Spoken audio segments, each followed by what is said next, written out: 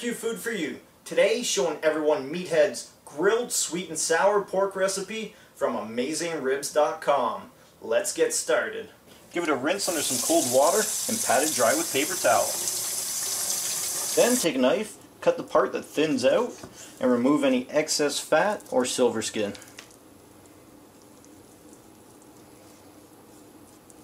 Then give it a sprinkling of table salt.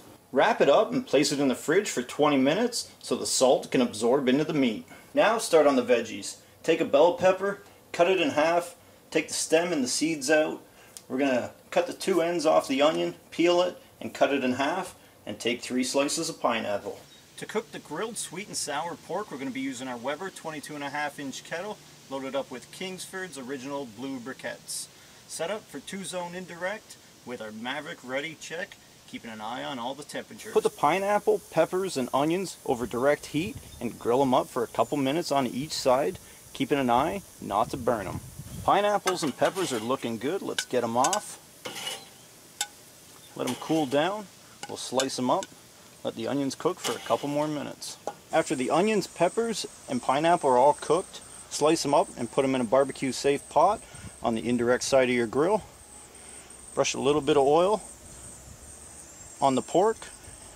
Then place the pork on the indirect side of your grill till the internal temperature hits 125 and we'll put it over those hot coals. Now it's time to get the rice going. Start with one and a half cups of water, half a teaspoon of table salt, and one tablespoon of butter. Bring it all to a boil. Slowly mix your rice in so it doesn't clump together. And we'll put the lid on let it cook for around 15 minutes. Pork's been cooking for around 25 minutes. Let's go in and check the temperatures. 126. 132.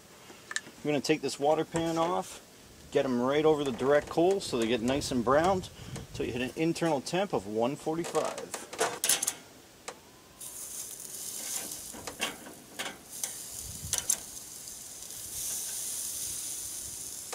Pork's all done and looking great. Let's get it off the grill, take it inside, and cut it up. With the pork just off the grill, cut it into bite-sized cubes. Make sure to test the piece. Start with a bed of rice on your plate. Then add some of the pineapples, peppers, and onions on top. Throw a little bit of pork on top of that. And then drizzle on some mumbo sauce.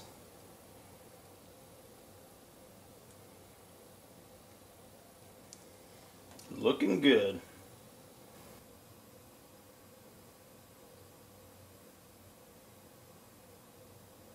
Meathead's grilled sweet and sour pork, all ready to serve, and it's tasting great.